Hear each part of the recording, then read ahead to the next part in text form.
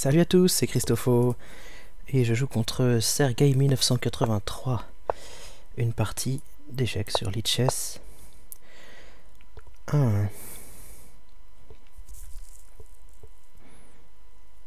Donc ça, c'est une sorte de Benoni. Euh, je joue en... Je, pense que ça va être une nouvelle playlist où je vais jouer des parties en temps euh, classique et non plus des blitz. Euh, ce qui permet, ce qui est beaucoup plus instructif, on va dire, parce que euh, les parties blitz, tiens, cavalier à 6, c'est un peu bizarre, peut-être qu'il va le mettre là. Je vais, continuer mon, mon développement normal dans cette ouverture. Les parties blitz, ouais, c'est ça peut être spectaculaire. Parfois, les, les courses euh, quand euh, les courses au temps euh, quand on n'a plus beaucoup de temps et tout. Mais les, parties standards, c'est là où on joue du jeu de meilleure qualité. On a le temps de réfléchir à des coups et c'est là où on progresse le plus quand on joue. Et du coup, c'est aussi là où on peut progresser le plus quand on regarde des vidéos de, de joueurs forts. Donc moi, c'est ce que je fais, je regarde des vidéos de joueurs forts. Je me considère pas comme un joueur fort moi-même, mais j'ai envie de progresser. Alors, hmm. est-ce que je cloue le cavalier direct? Peut-être pas, parce qu'après le pion va plus être défendu. Peut-être plus utile de jouer ça d'abord. Ou alors même D6 pour essayer de le bloquer. D6, ça semble... Euh, c'est vraiment pour l'embêter, quoi, mais... Pas sûr que ça soit... Le mieux non plus. Difficile à dire, parce que... Bon, sinon, je peux aussi même prendre... S'il recapture comme ça, on peut lui changer les dames, il pourra plus roquer. Et après, je peux très très rapidement faire un clouage suivi d'un grand roc.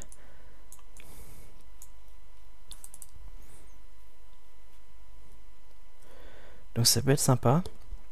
Ah oui, s'il reprend avec le pion F. Euh, Celui-là c'est un trou là.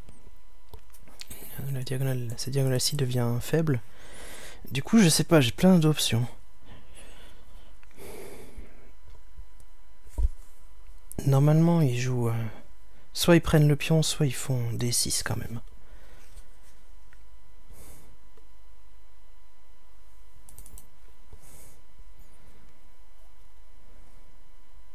Et après, normalement, moi, je, joue le pion là. S'ils prennent, je reprends comme ça, et après, je joue ça. Mais, euh, ok. Prends. S'il reprend, je lui cloue.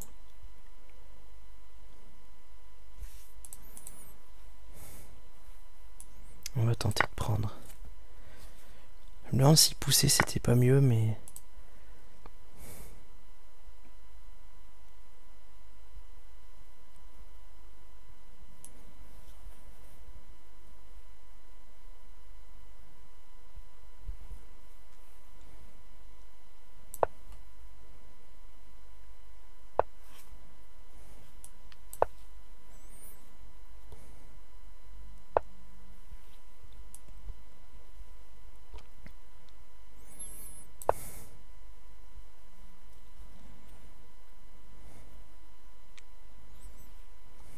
Donc ouais, c'est beaucoup plus intéressant euh, de jouer des parties euh, plus sérieuses avec plus de temps pour progresser.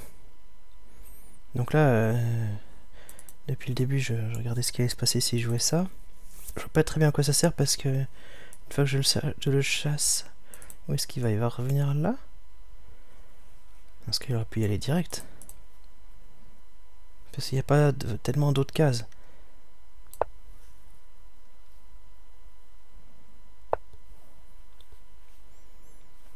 En fait, je pense que j'aurais vraiment dû jouer D6 pour... Euh, parce que là, il va pouvoir jouer D5.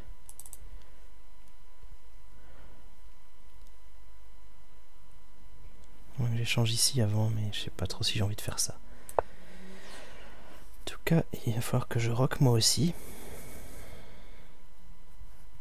Ah, attends, une idée, ça peut être de faire ça.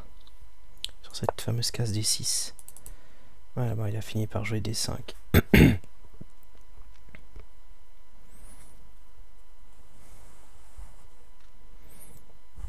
des 5 qui est défendu 3 euh, fois.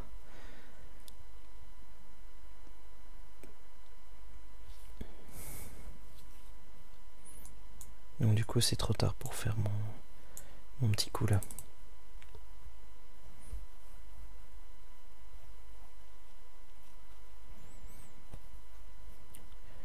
On va juste échanger et voir euh, comment il reprend.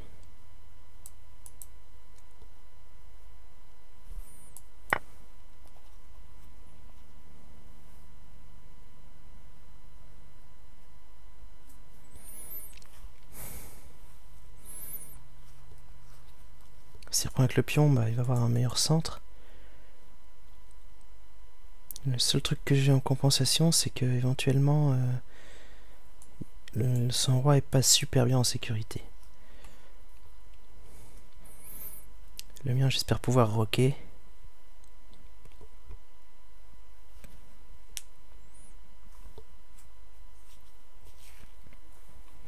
Mais bon, voilà, j'ai pas... J'aurais pu avoir un plus gros avantage à mon avis si j'avais juste joué D6. Vu qu'il m'avait laissé faire.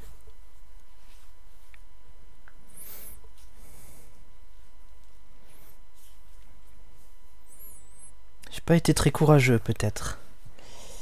Donc là s'il reprend... Avec le pion, en fait je peux prendre le cavalier... Et je gagne un pion. Donc en fait, il peut pas reprendre avec le pion, il faut qu'il prenne avec le cavalier. Ce qui est pas mal pour moi, éventuellement. Je sais pas. Ah, il a repris avec le pion quand même, après une longue réflexion. Donc est-ce que il a une autre idée derrière la tête? Si je prends le... cavalier, il va reprendre... Euh, peut-être même avec la tour, mais... Non, je pense avec le fou. Et après, je prends là.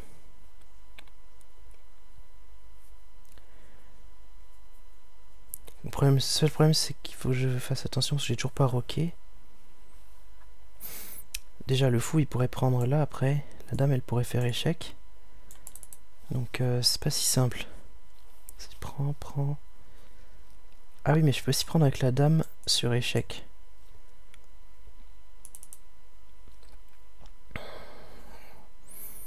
Ça, après, éventuellement, on échange les dames. Il peut quand même prendre ici.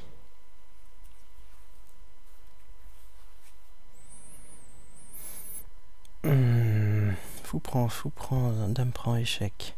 Dame prend, cavalier prend.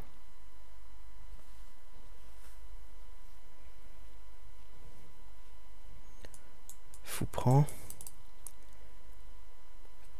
Est-ce que mon cavalier arriverait à faire des... Miracle. Prends, fou, prend. Dame prend, dame prend, cavalier prend. Fou prend. J'ai pas l'impression.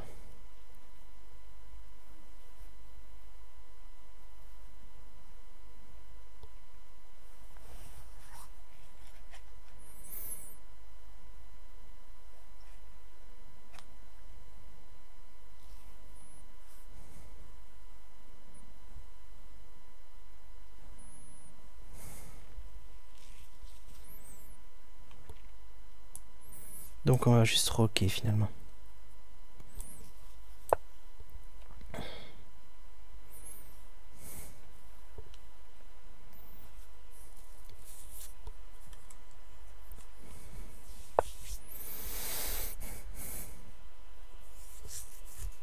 Alors,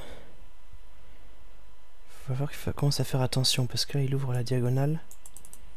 Pour l'instant je vois pas trop de moyens d'en profiter mais si le fou était pas là, je pourrais faire une attaque euh, comme ça. Une double attaque. Une fourchette, quoi. Alors, le...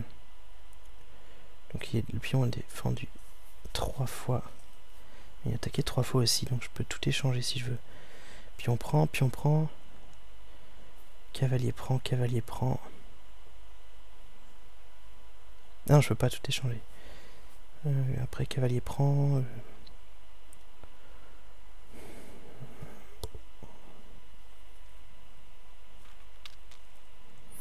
Je peux rajouter un attaquant si je viens là. Puis on prend, puis on prend. Cavalier ici.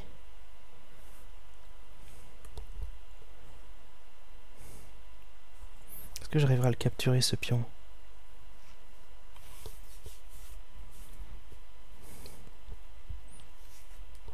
Ce pion là tout seul après. On peut encore jouer le fou là.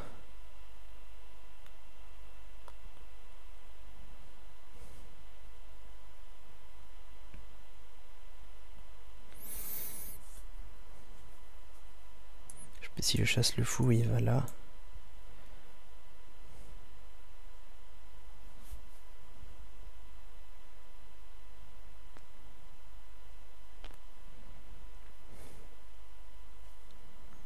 Si échec, ça, je sais pas trop à quoi ça peut servir après. Ouais, bon. Je vais quand même prendre le pion parce que je peux pas trop le tolérer.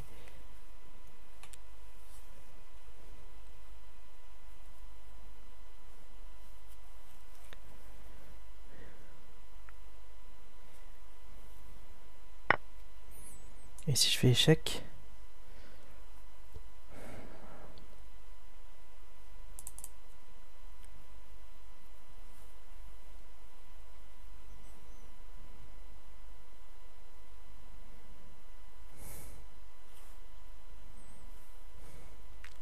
Je vais quand même jouer ça.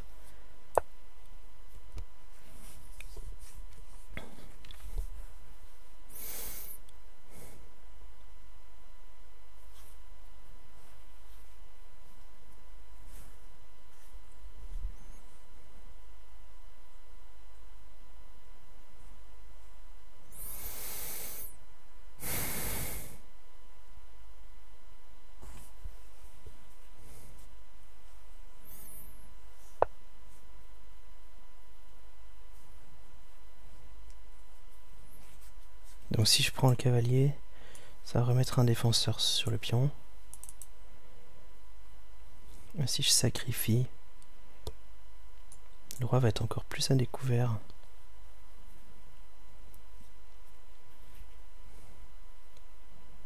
Mais ça me semble quand même assez hasardeux.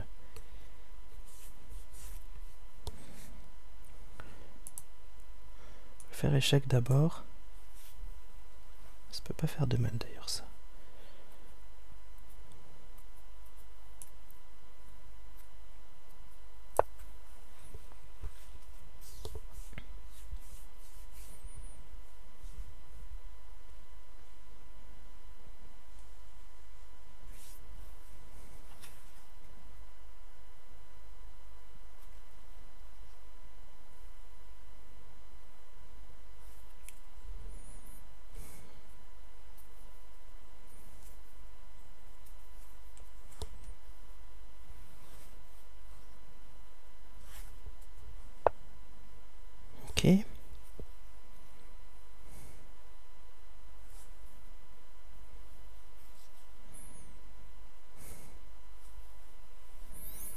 Si je replie ici, je menace d'aller là-haut.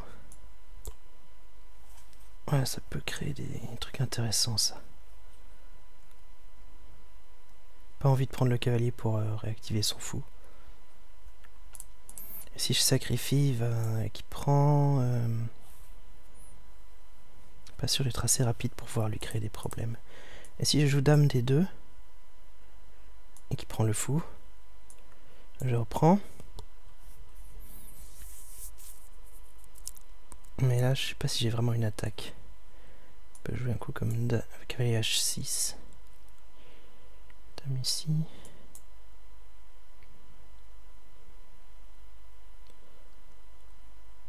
Je trouve qu'il a, y a beaucoup de, défenseurs dans le coin. J'ai l'impression que le sacrifice fonctionne, on va pas faire n'importe quoi.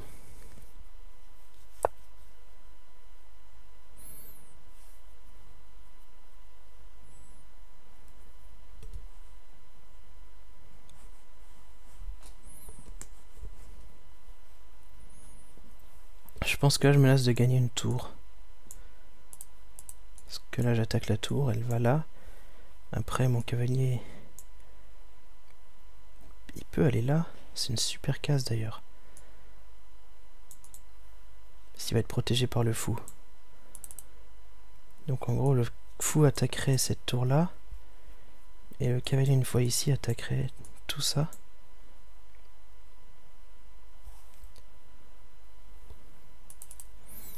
Donc il va falloir qu'il m'empêche de jouer ça à mon avis. Peut-être qu'il faut jouer un coup comme fou des 6. Qui est un très mauvais coup. Non, ça marche pas. Attaquer deux fois et défendre une seule fois. Qu'est-ce qu'il peut faire alors? Ah. The player may have left the game. You can claim victory, call the game a draw or wait.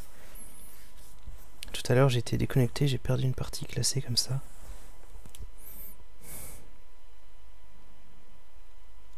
Ah, ou alors il a rage quit parce que s'est rendu compte que je commençais à avoir une bonne position. J'ai passé beaucoup plus de temps que lui à réfléchir. Il a, il a joué trop vite. Hein. Il peut s'en vouloir qu'à lui-même.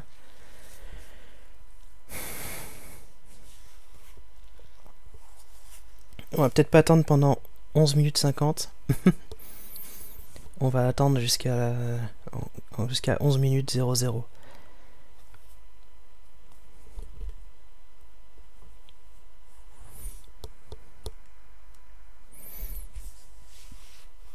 Sergei 1983.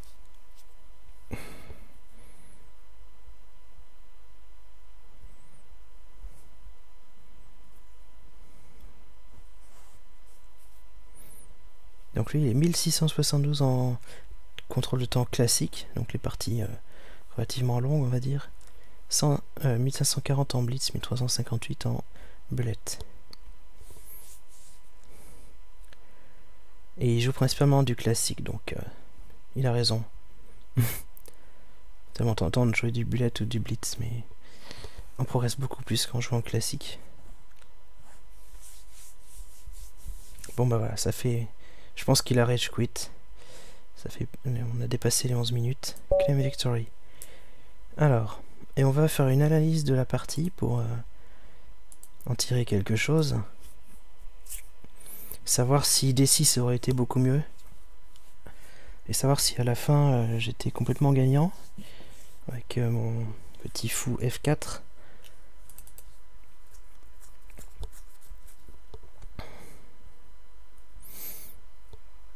Ah non, le, c'est tout plat d'après l'ordi. Donc euh, il va y avoir une bonne défense. Complètement plat. Au mieux, j'avais un très léger avantage de 0,87, c'est-à-dire un petit peu moins d'un pion. Un petit moins de l'équivalent d'un pion. On a, ça veut dire qu'on a tous les deux très bien joué.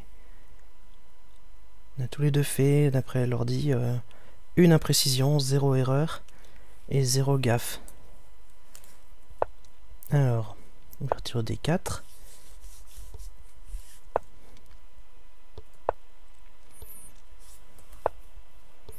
Donc là, ça devient une sorte de Benoni. Il a joué cavalier A6 que j'avais jamais vu. On peut regarder d'ailleurs le la base de données d'ouverture des, parties de maître. Là, tout le monde joue euh, E prend D5 parfois cavalier F6, mais rarement quoi que ce soit d'autre. Et là, le coup qui m'a joué, il est même pas dans les dans les bases de données de, de joueurs.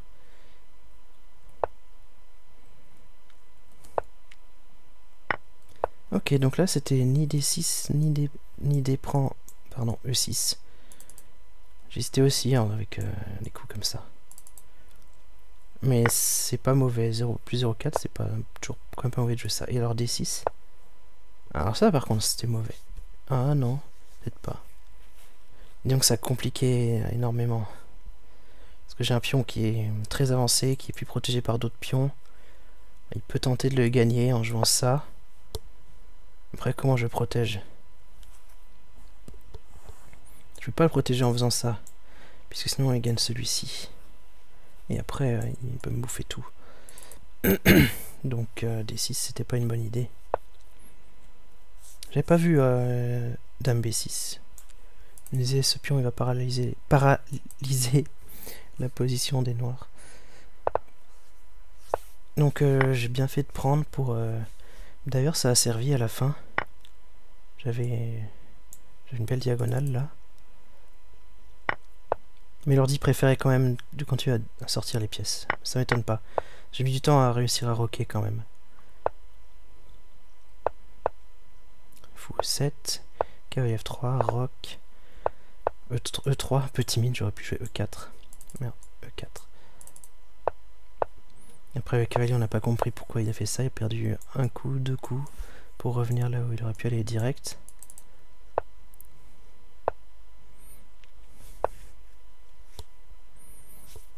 Donc ça, ouais, je m'y attendais. D5. Prends, prends. Et après, ouais, c'est ça que je calculais. J'ai mis longtemps à calculer ça. Mais je t'ai dit, dame prend, dame prend, cavalier prend. Et après, j'étais embêté par les conséquences de cavalier prend B2. Je me suis dit, la tour, elle irait là, mais après, elle attaque rien de spécial. Tour A2, je vois pas bien pourquoi, mais...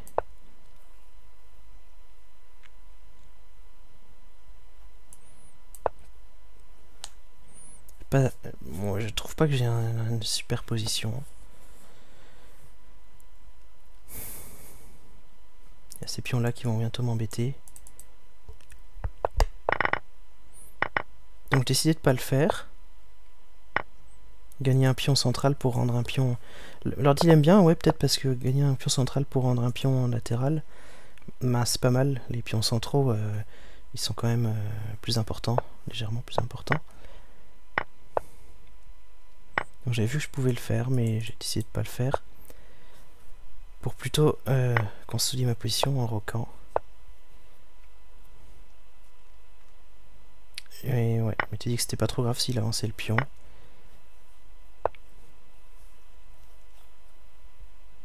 Et donc là, il a joué ça. J'ai fait échec. Principalement pour améliorer la position de mon fou parce que ça crée pas vraiment de menaces. Fou F4. Et donc ça, je me suis dit que je vais pouvoir l'embêter. Alors ça dérange pas l'ordi qui trouve fou G4.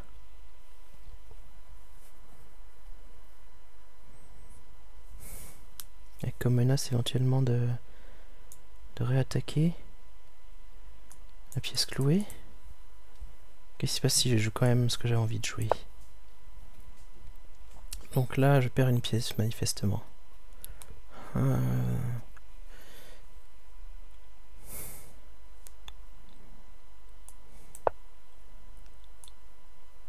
Genre, il sacrifie la tour, mais pour récupérer tout de suite le fou.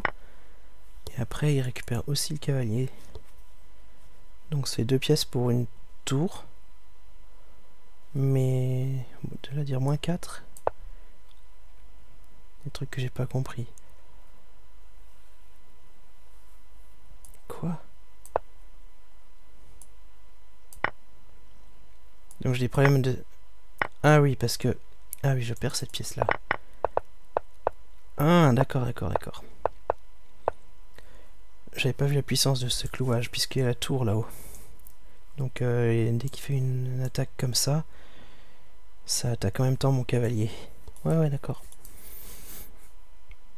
Mais bon, je pense qu'il a pas vu et il a rage quit parce que pas si évident à voir euh, un autre petit niveau. Ok, bah, je suis content de cette partie, j'ai gagné 5 points. Euh, c'est tout pour le moment, et on se retrouve bientôt pour une autre partie standard. Salut